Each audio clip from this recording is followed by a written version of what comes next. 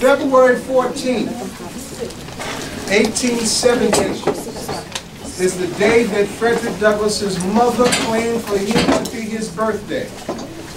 We didn't have birthday cakes on the plantation. We didn't have those things. What we had was masters, overseers, chains, and holes and things that we did work with when we were working for the master. Right? Frederick Douglass's mother was violated by a white man who may have been either her master or the master who was ultimately the master of Frederick Douglass himself. He was not born in love the way two parents give love and bring children into the world. He was born in the violence of slavery. So to give him love in spite of that violence, in spite of that rape, she made him her Valentine. And he claimed February 14th for his birthday. And He went on to become the most articulate and famous spokesperson against slavery in the 19th century. Especially Douglass, we say Ibaye. Ashe. Ibaye. Ashe. Ibaye. Ashe. Who is this? Tom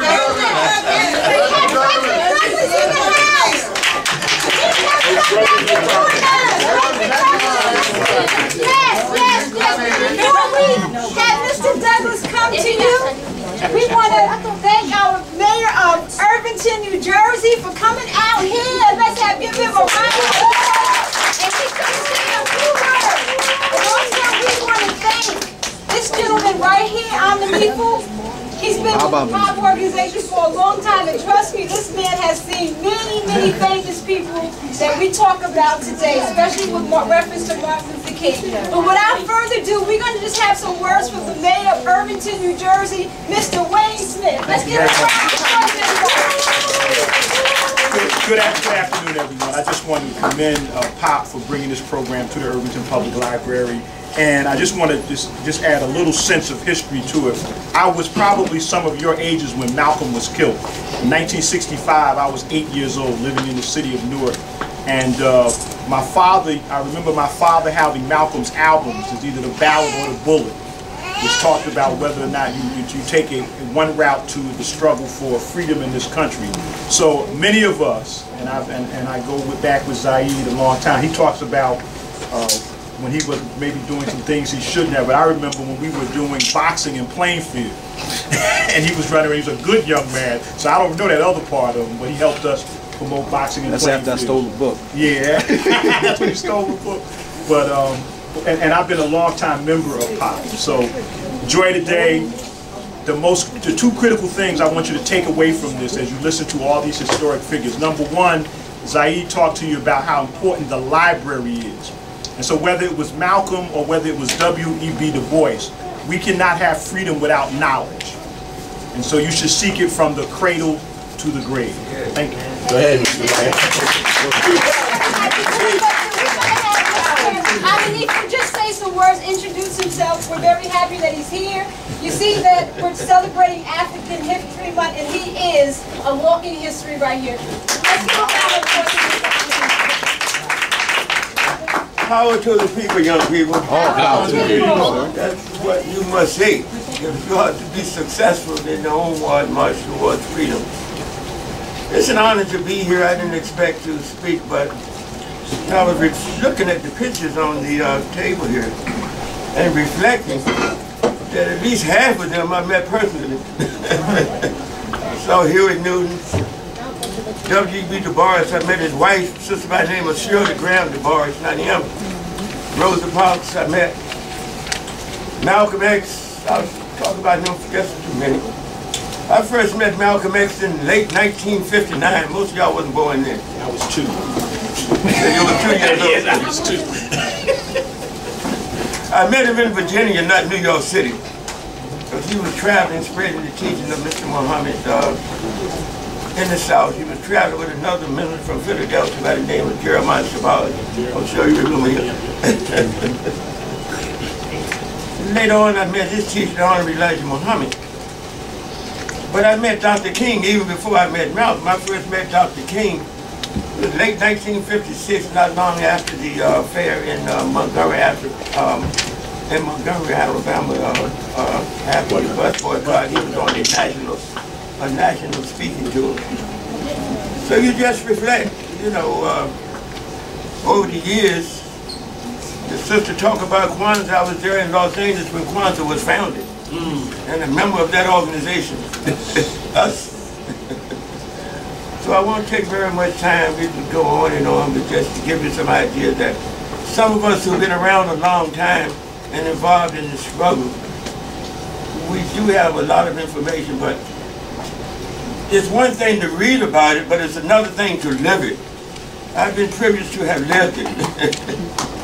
Thank you very Yes, sir. yes.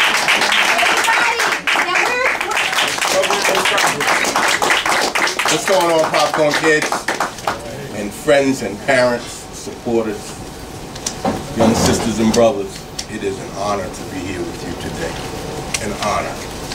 And I'm real glad that y'all want to celebrate the birthday of Frederick Douglass. Now, my real name is Larry Adams. And I, too, am a member of the People's Organization of Progress. I'm the vice chairperson. But I wanted to talk to you today somewhat about Frederick Douglass, participate and be the object your celebration of my birthday, his birthday. So sometimes I'm going to be Larry, sometimes I'm going to be Frederick Douglass. It's up to you to keep up, pay attention, because there are prizes. What year is this? What year is it? 2013. When did Papa Zayid say Frederick Douglass was born? What'd you say, sister? Oh, What'd he say? 18, 17, 17. It was either 1817 or 1818. It's not clear. He didn't know when his real birthday was because he was a slave. He wasn't cared for, loved, endeared. He was a slave. Anybody know what a slave was? Who answered that question? Who answered the Whoa! What little sister? a, a slave is somebody who's owned by somebody else. Excellent. The same way I own this piece of chalk with which to write, somebody owned Frederick Douglass for whom to work. And everything that he, a slave, earns, works, makes, creates, is owned by someone else. So he or she never then can accumulate anything. It's all taken away. In fact, his very body is taken away. So Frederick Douglass was born in 1817, and this is 2013. How old am I today? If we take today as the date. Little brother back there with the mask over your face. This is a subtraction problem. You subtract 1817 from 2013. Well, how much is it, little sister? 7 from 6. 7 from 13. 6. 1 from 10. What we got to do? Borrow. Turn that to 0. Make that a 10. Take 1 from 10 and put up it. What's that? 196. 196 years old would be today. And I think, Larry thinks, Frederick Douglass is a major hero. Baba Zayid says, Frederick Douglass is a major hero. Maybe after we talk about them, I'm going to ask you what do you all think about Frederick Douglass. He didn't know his birthday because the record wasn't kept. He was, but they do know he was born in February of either 1817 or either 1818. And ironically, anybody know what ironically means? I do, I do. What, what, what, what? Ironic mean like you um think one and it come like it's the opposite of the thing. say like an example, like in modern day life, like if you have a hockey team, say a hockey team that's named, the name is the blue, sh- blue jersey or something like that. But they had the uniform is a red jersey. That's kind of That's of irony. That's an irony. You couldn't tell from irony. You want an irony? An i- ironic? Go ahead. One more. What do you kind of. Kinda, yeah. Yeah, kinda, it's weird, it's different, it's strange. We do know he died February 20th, today's the 23rd, of 1895. How old was he? August 96. No, he'd be 20, he'd be he'd be another 96 in 2013. If he was born, if he died in 1895, he was born in 18, we'll say 17, 17 or 18. The record's not clear. What do we do? Borrow? 7 from 15. What did you take away? 78. 78. He was either 77 if he was born in 1817, in uh, 1818, or he was 78 if he was born in, in 17. Yeah, you got it right, Mr. Mayor. So he lived a long life, and you know what he did with his life? If you're a slave and somebody owns you and owns everything you make, what do you think about, sister? He, he picked cotton for the slaves and he thought about He, that's what that's the work he had. Part of the work he had to do, and little he- sister. He risked his life. Risked his life for what? He Rob somebody for else. freedom. for freedom. Not only did he risk his life for freedom as a child, but his whole life, his whole 78 years, was spent in one way or another in the fight for freedom and the fight and the fight to who can read this word? Um, abolish. What does abolish mean? It means when you stop something from happening. There you go. Put an end to it. Put an end to it. And one who abolishes is called an what? Abolish! Abolitionist. Put the emphasis on the other syllable. He's an abolitionist. That was his big claim to fame. But he was born as a slave in 1817. And at six years old, he played as a kid. The other kids on the plantations, owned by Aaron somebody and Colonel Lloyd. Didn't know his mom too much. She was on another plantation. Didn't know his father. Baba Zayid said he was probably a white man who took advantage of his mother because she too was property. Not treated like a human that had say over her own body or her child. This is the life of slavery in the 19th century. And slavery existed in this country from 1619 when the first slaves were brought off a boat from Europe until the end of the Civil War in 1864. Three, four. 200 and somebody counted, 54 years. Most Africans, descendants of Africa, African Americans, were slaves. The vast majority, our ancestors here, was somebody else's property and denied the dignity of human life, control over our own lives. From birth to six, Frederick Douglass was a kid. He went to work at six years old. Those who owned him put him to work at six years old. And his job was to care for a kid about his own age who was the who was the son of the owner of his plantation and the owner of Frederick Douglass. That instead of being carefree as a child, he could be punished for what he did or didn't do in relationship to somebody else's well-being. Yes, little sister?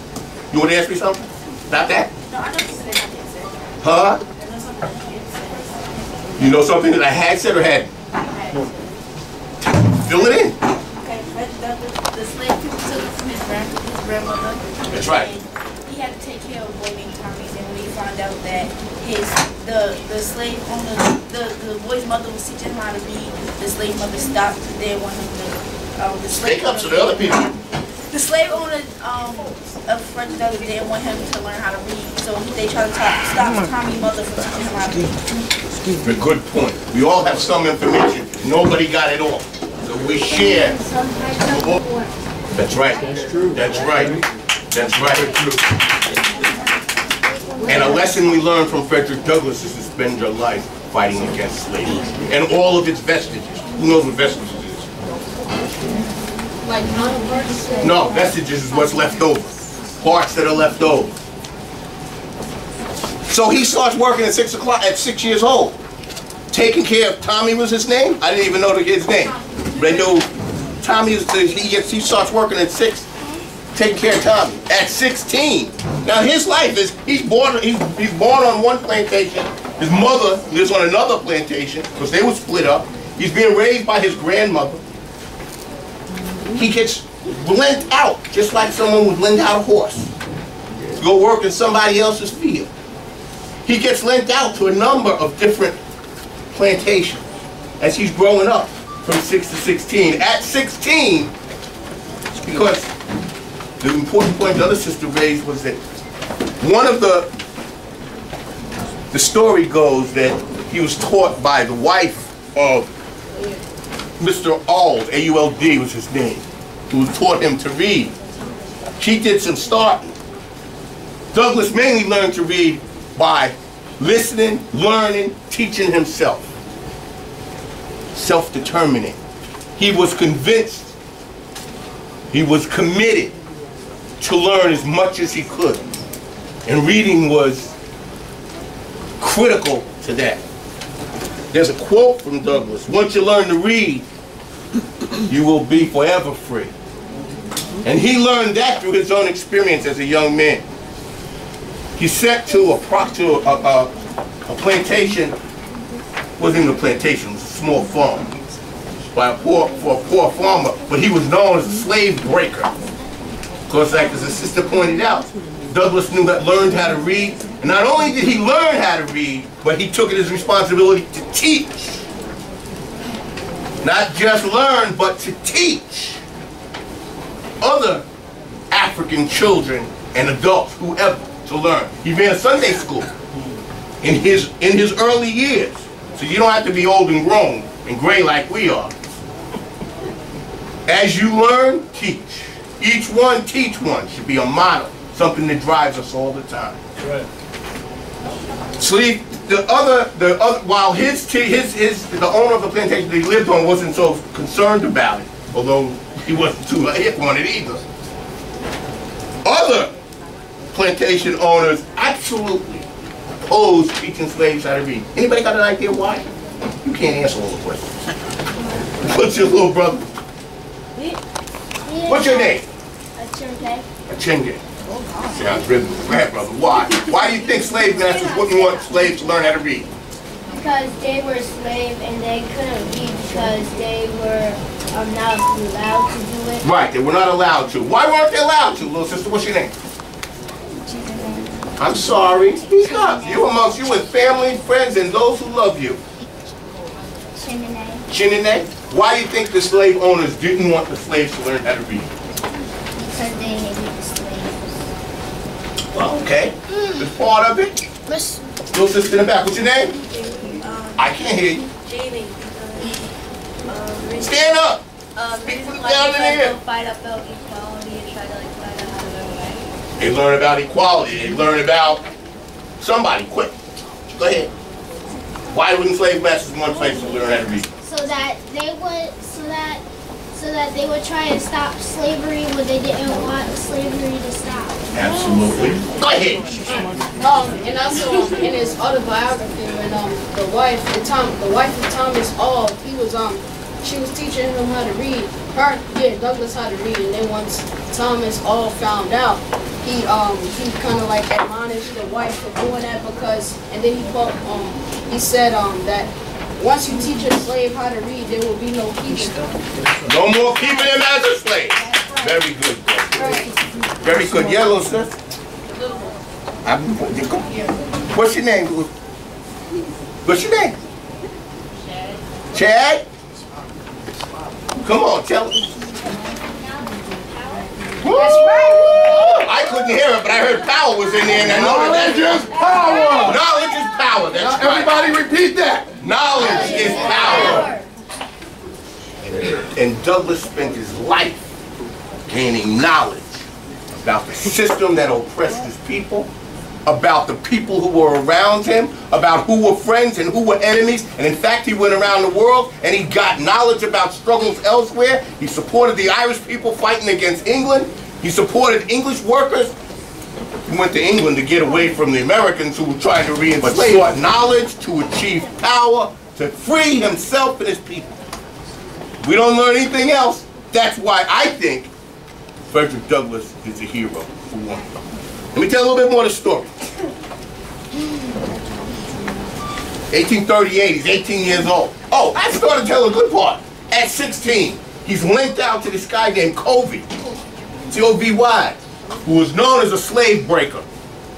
Those who try to learn how to read, those who won't accept being slaves, those who fight back need to be broken in order for the system of slavery to be maintained. Their will to resist had to be broken. And the way it was broken was through brute force and violence. Smart old Frederick Douglass gets sent to Covey to be broken. And on a regular basis, Covey beat Frederick Douglass with a whip, with a lash, tore the skin from his back. At one point, Frederick Douglass said, enough is enough. What happened?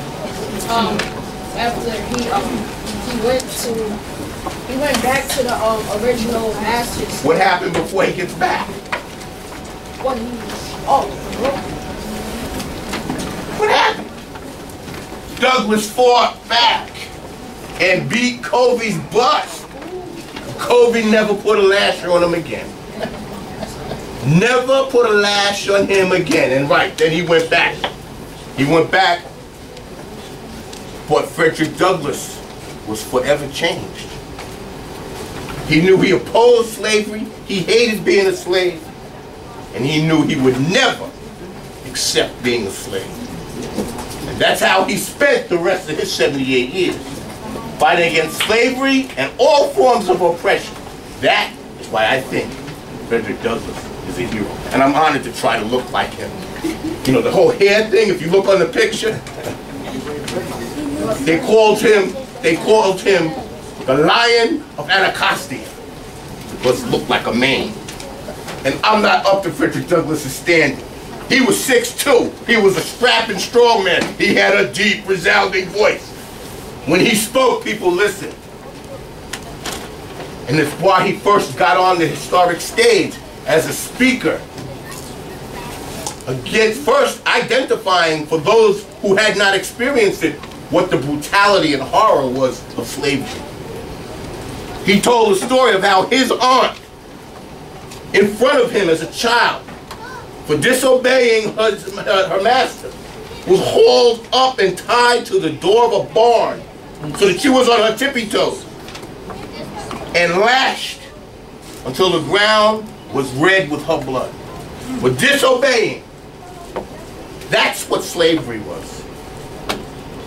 Total subjugation and oppression of those who were enslaved, the sons and daughters of Africa, our ancestors. He would never be a slave and he would always fight against the system of slavery. That's why Frederick Douglass is a hero and should be honored. And I'm honored to be here to give a, some presentation about it. But I like to flip the script a little bit. That you're celebrating the birthday of Frederick Douglass. Instead of you giving Frederick Douglass a gift, I had a gift for you. Where's Miss Susie? You could help. I hope we have enough to go around. Maybe you can remember. But I will ask for a gift from all of you, and that is that you draw lessons from the life of Frederick Douglass. And first and foremost, appreciate education and work as hard as you can to learn as much as you can to improve yourself, your community, your people, and fight against those vestiges of slavery that still exist today. When you walk outside and you and you see bad conditions, and you see police brutality, and you see poverty and unemployment, those are the vestiges of slavery. When you see three or four uh, people, young men out of your neighborhood who go away, and you don't know what away is, those are the vestiges of slavery. So the struggle against those vestiges continues today. Douglass would have been in the forefront because he was in the forefront of the struggle, as Baba Zayid told us, in the 19th century. And we went through heroes and sheroes and warriors for freedom of the 20th century. And we trying to work to help prepare y'all to be the sheroes and heroes and warriors for freedom of the 21st century. Frederick Douglass, thank you. Frederick Douglass says something to us, and it says it's easier to build strong children than to repair broken men. That people what? So with our help, but mainly with your help, with your own efforts, you got to be the strong folks for the 21st century as opposed to the broken men. Back to